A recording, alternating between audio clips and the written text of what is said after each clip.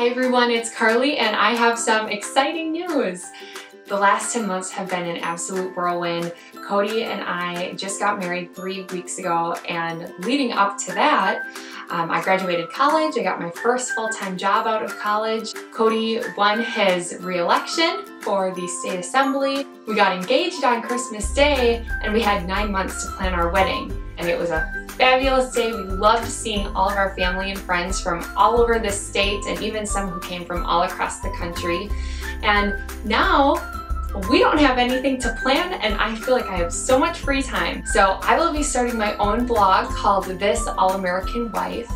And really the blog was inspired by so many different things that we love to do. We love traveling, we love do-it-yourself projects. Cody and I love finding hole-in-the-wall places that you wouldn't normally expect, so we hope to feature a lot of those on our blog as well that's really the inspiration for this vlog is that, you know, as newlyweds, we have learned so much over the last nine months when it comes to planning a wedding, looking for a house, and just everything in our day-to-day -day lives. So I am so excited for this new adventure and for my blog, This All-American Wife. Be sure to like this video and subscribe to my channel. I will post all of the links to my social media below, so make sure you go and follow and be sure to stay tuned for my next vlog. We'll see you next time.